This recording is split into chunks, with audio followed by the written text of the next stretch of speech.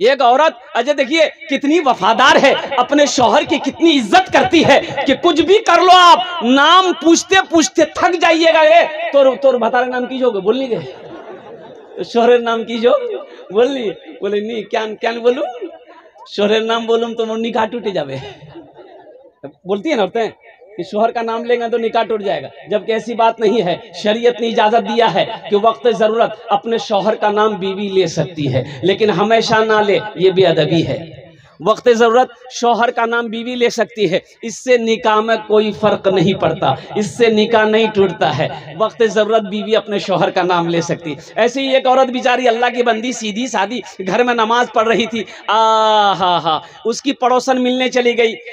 कोई काम से गई देखी वो नमाज़ पढ़ी तो बैठ गई कि नमाज़ पढ़ तब हर बात यार से मैं बात करूँ।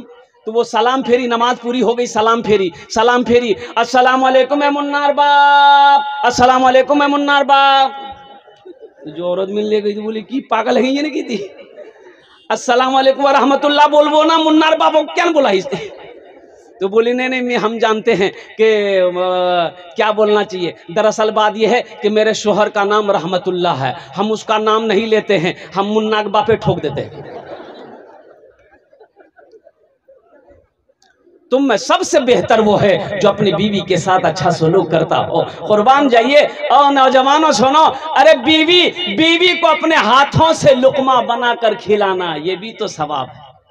इसमें भी सवाब है कभी अल्लाह तौफीक दे तो लुकमा बनाकर अपनी बीवी को खिला देना। ये नबी की सुन्नत अदा हो जाएगी। सुनो, अरे रूठना किसकी बीवी नहीं रूठती है मेरे भाई? कुर्बान जाओ। रूठना, ये अम्मा आयशा की सुन्नत है, और रूठे हुए बीवी को मनाना, ये इमामुल अंबिया की सुन्नत। इनशाला अपनी बीवी के साथ अच्छा सलूक करोगे मेरे भाई? हाथ उठाओ इनशाला देखिए, बच्चा सब भी हाथ उठा दिया। हाँ तो कल होके ये भी तो जवान होगा। हाँ हाँ हाँ। कल है कि ये भी बड़ा होगा, ये भी जवान होगा, ये भी नबी के सुन्नत के मुताबिक इंशाल्लाह निकाह करेगा। नबी के सुन्नत के मुताबिक निकाह करना मेरे नौजवानों, नबी के सुन्नत के मुताबिक निकाह करोगे तो अल्लाह जो औलाद देगा, वो औलाद फर्मा बरदार होगी, वो औलाद वफादार होगी, वो औलाद नेक और साले होगी। और नबी के सुन्नत के खिलाफ निकाह करोगे। तो समझ लो वो औलाद कभी ज़िंदगी में फर्मा बरदार नहीं हो सकती है। नेक और साले औलाद पैदा नहीं हो सकती। सुनना तरीका क्या है? देखिए मेरा मौजू फिर इधर आ जाएगा। अब मैं, मैं मुझे तकरीर करनी है मस्जिद के ऊपर में। अब फिर ये इधर आ जाएगा तो अब वो मौजू फिर बदल जाएगा तो फिर बात फिर लंबी हो जाएगी। अल्हम्दुलिल्लाह एक घंटे के अंदर में मैं अपनी बात को समेटने की कोशिश करूँगा। मौजूद सामने की एक घंटा बहुत छे? दी घंटा। वहाँ देखिए एक आदमी हाथ उठा रहा पाँच घंटा। एजान कब्रिस्तान नज़दीक छे ना कि? हाँ। कब्रिस्तान छे नज़दीके छे। अल्हम्दुलिल्लाह सुम्मा अल्हम्दुलिल्लाह। तो मैं ये कह रहा था कि नबी के सुन्नत के मुताबिक निकाह करना। अच्छा ए ईशान ईशान जहेज चलो जहेज जहेज। है है। ईशानो चलो?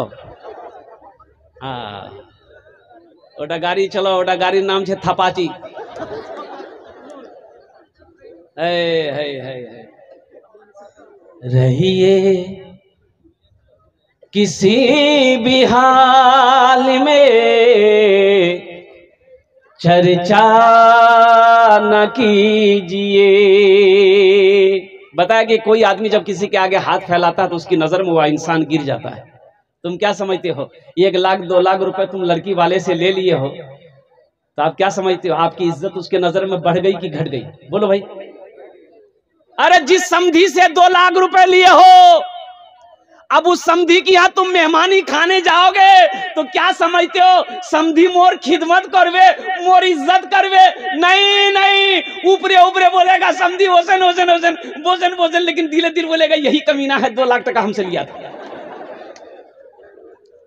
बोले, यही मेरी ज़मीन बीचवाया यही हमको कर्जा लेने पर मजबूर किया, यही हमको सूद ब्याज पर पैसा उठाने पर मजबूर किया। डेढ़ लाख से एक पैसा पे हिलने का कम नहीं, नाम नहीं लेता था। यही वो आदमी। रहिए किसी भी हाल में। चर्चा न कीजिए।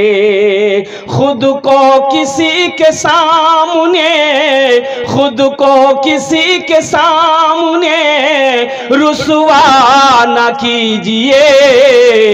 रहिए किसी भी हाल में चर्चा न कीजिए, घर में ज़रूर लाइए।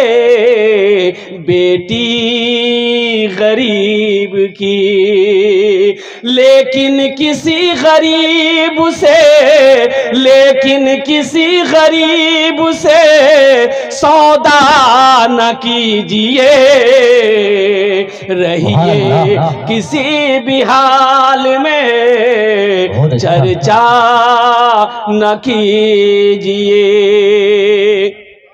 एक लड़का संस्कृत पढ़कर आया। संस्कृत पढ़कर लड़का आया था। अब वो लड़का एम में भी था ओम में भी था।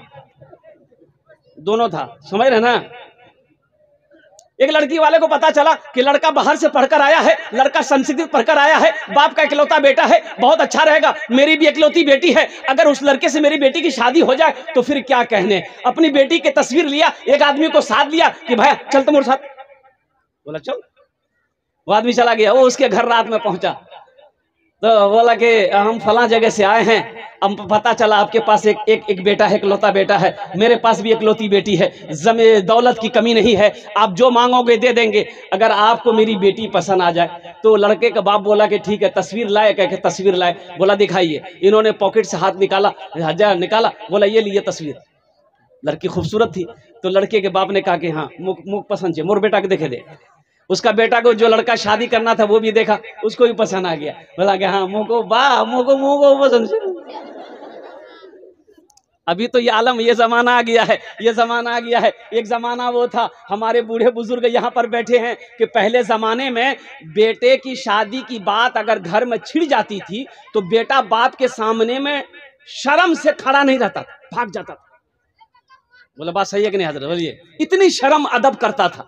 और अभी का जमाना, अभी का जमाना, बाप रे बाप, मोबाइल में फ़ोटो लेकर लड़का घूमता है। और माँ को बोलता, माँ यारेज में भी आको बाघ बोले, दिसती। बोलो, बात सही गलत है। बोलो, और कुर्बान जाओ। हम कहाँ से कहाँ चले गए? ये लड़का भी पसंद कर लिया। लड़की वाला बड़ा खुश हुआ कि चलो बाप ने भी पसंद कर लिया बेटे ने भी पसंद कर लिया। अब कुछ लेन देन की बात कर ले इन लोग क्या लेगा नहीं लेगा जहेज में क्या देना होगा नहीं देना होगा? तो समधी को बोला कि समधी तो की ली बहन जहेजो बोला नहीं मोक नहीं पूछ की लीबे नहीं लीबे वही जाने। तो लड़का से पूछा गया बेटा की लीबो टाइटन घड़ी लीबो ना सोनाटा घड़ी लीबो की लीबो बोल। तो लड़का संस्कृत में बोला, ना। की बोलो मिया ना बोलो ना बोलो। तो उसके साथ में जो था, वो बोला कि नहीं, संस्कृत बोलो। फिर पूछ। बोला, बेटा, क्या लेगा? वॉशिंग मशीन लेगा? वॉशिंग मशीन तो लड़का बोला, ना।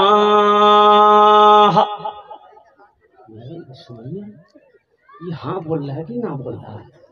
बोला, फिर पूछ नहीं मिया फिर पूछा, बेटा, क्या लेगा? फ्रिज लेगा, फ्रिज फ्रिज। तो लड़का बोला ना तो लड़की वाला को गुस्सा आया। बोला, खुले बोल मियाँ, की ले बोती मोर समझत नहीं वो सो खुले बोल, की ले वो तो लड़का बोला या बोला, बात समझो तो से गेल। या मा ले